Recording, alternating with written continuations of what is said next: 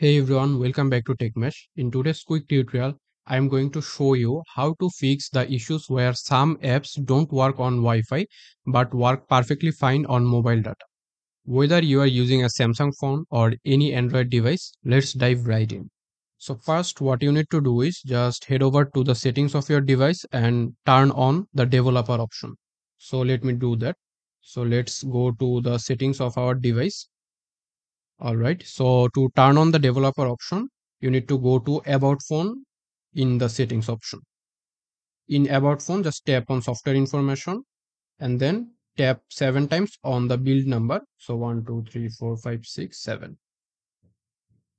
So here you can see it is saying developer mode has been turned on.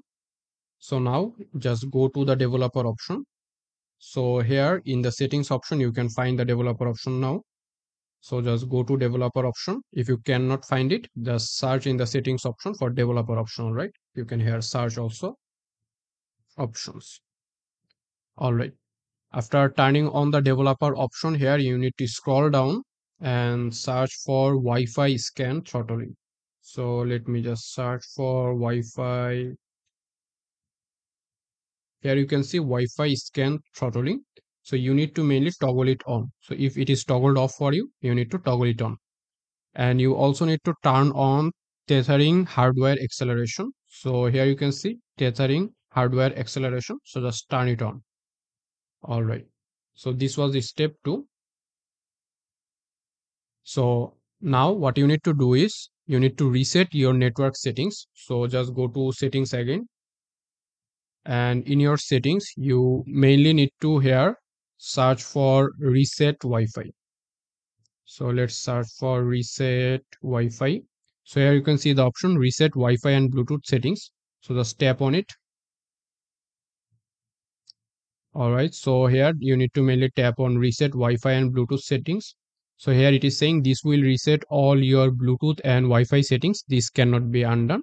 So if you are agree with that, then just tap on reset settings and now your Wi-Fi and Bluetooth will be resetted. So this simple reset can often fix strange Wi-Fi related issues on Samsung or other devices. So now if your problem is still persists, then try this universal next fixed, alright? So for the next step, you need to set static IP and change DNS. So for that, go to settings of your device, alright?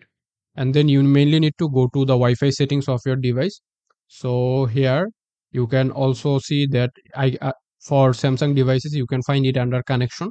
For other android device you might find it under network and internet. So just go to connection. And then in your connection you mainly need to go to the settings of your wi-fi. So just tap on wi-fi. So here in your wi-fi just let me connect to my wi-fi quickly all right? So we have connected to our wi-fi so here you can see at the side gear icon. So just tap on this gear icon. So now here just tap on view more so here you can see ip settings. So just tap on ip settings and change dhcp to static. And now here you can see the ip address. So you need to change here a couple of things. First you need to change the last value of the ip address. So here you can put value from 1 to 225 you can change the last number between 1 to 225 so let's put this number for example. All right so now scroll down a bit. So here you can see dns 1 and 2 so for dns 1 you mainly need to set 8.8.8.8 so this is google's dns and here in the dns 2 you mainly need to here set 4.4.4 so let me just put 4.4.4 after do doing that just tap on save.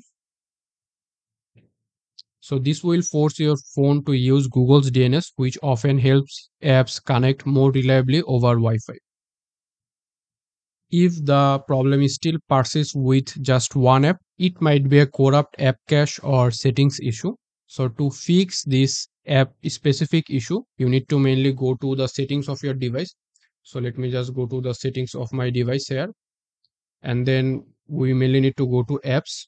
So here is the app. So let's go here. So for example if we are facing the problem with whatsapp then we will go to our whatsapp settings. And then here we mainly need to select storage. So here you can see storage. So just tap on here. And then here you mainly need to tap on clear cache. And if that doesn't work then try clear data and that's it one of these methods should definitely fix your issues of apps not working on wi-fi if it helped don't forget to hit the like button and subscribe to my channel and hit the bell icon for more future videos like this one and comment below if you face an specific app issue and I will try to help you out. So I'm Mash from TechMash and I'm signing out.